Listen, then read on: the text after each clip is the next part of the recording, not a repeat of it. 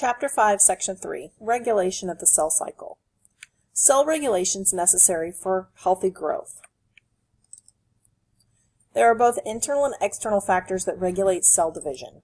External factors include physical and chemical signals. Growth factors are proteins that stimulate cell division.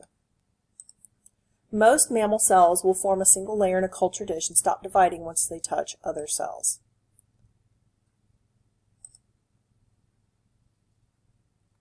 A normal only when it receives a chemical signal telling it to do so. These signals are interpreted in the nucleus, and the cells reproduce their genetic information and divide into two identical daughter cells through a process called mitosis. Cancer cells do not obey this rule and will divide even if they do not receive appropriate signals. Two of the most important internal factors are called kinases and cyclins. External factors trigger internal factors which can affect the cell cycle. Apoptosis is a programmed cell death. All cells will eventually die.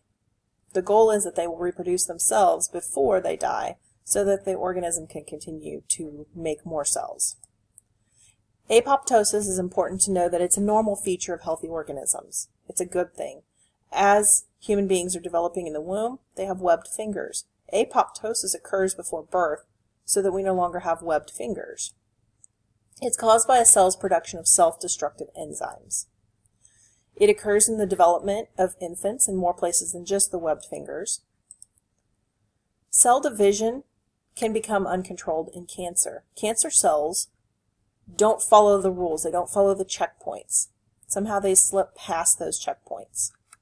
They form disorganized clumps of cells called tumors. A benign tumor is one that remains clustered and it can be removed. A malignant tumor is one that can continue to grow and break off and form more tumors in other places of the body.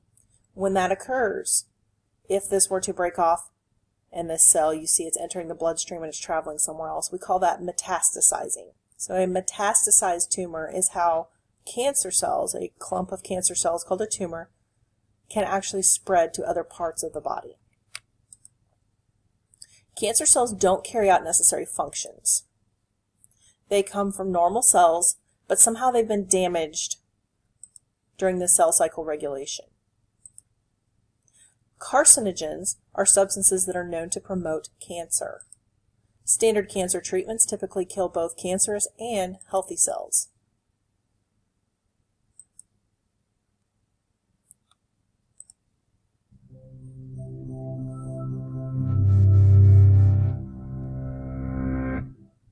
Imagine something small enough to float on a particle of dust that holds the keys to understanding cancer, virology, and genetics. Luckily for us, such a thing exists in the form of trillions upon trillions of human lab-grown cells called HeLa. Let's take a step back for a second. Scientists grow human cells in the lab to study how they function, understand how diseases develop, and test new treatments without endangering patients. To make sure that they can repeat these experiments over and over, and compare the results with other scientists, they need huge populations of identical cells that can duplicate themselves faithfully for years. But until 1951, all human cell lines that researchers tried to grow had died after a few days. Then a Johns Hopkins scientist named George Gey received a sample of a strange-looking tumor, dark purple, shiny, jelly-like. This sample was special some of its cells just kept dividing and dividing and dividing. When individual cells died, generations of copies took their place and thrived. The result was an endless source of identical cells that's still around today, the very first immortal human cell line. Gey labeled it HeLa after the patient with the unusual tumor, Henrietta Lacks. Born on a tobacco farm in Virginia, she lived in Baltimore with her husband and five children. She died of aggressive cervical cancer a few months after her tumor's cells were harvested, and she never knew about them. So what's so special about the cells from Henrietta Lacks that lets them survive when other cell lines die? The short answer is, we don't entirely know. Normal human cells have built-in control mechanisms. They can divide about 50 times before they self-destruct in a process called apoptosis. This prevents the propagation of genetic errors that creep in after repeated rounds of division. But cancer cells ignore these signals, dividing indefinitely and crowding out normal cells. Still, most cell lines eventually die off, especially outside the human body.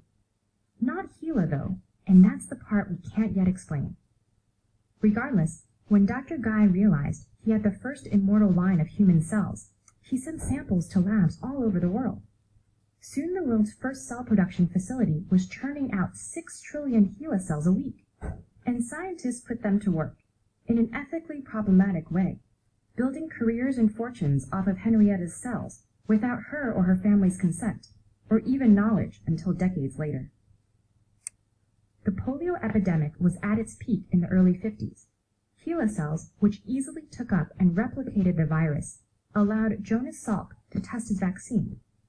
They've been used to study diseases including measles, mumps, HIV, and Ebola.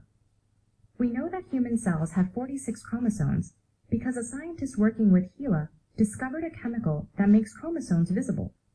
HeLa cells themselves actually have around 80 highly mutated chromosomes. HeLa cells were the first to be cloned. They've traveled to outer space. Telomerase, an enzyme that helps cancer cells evade destruction by repairing their DNA, was discovered first in HeLa cells. In an interesting turn of fate, thanks to HeLa, we know that cervical cancer can be caused by a virus called HPV, and now there's a vaccine. HeLa-fueled discoveries have filled thousands of scientific papers, and that number is probably even higher than anyone knows. HeLa cells are so resilient that they can travel on almost any surface. A lab worker's hand, a piece of dust, invading cultures of other cells and taking over like weeds. Countless cures, patents, and discoveries, all made thanks to Henrietta Lacks. So there's actually a book called The Immortal Life of Henrietta Lacks. It's written by Rebecca Skloot. Um, I have a copy of it if you'd like to read it. You can find it pretty much anywhere, Amazon, library. It's a really good book and it looks a lot into history, it looks into science, and how did we get where we are today.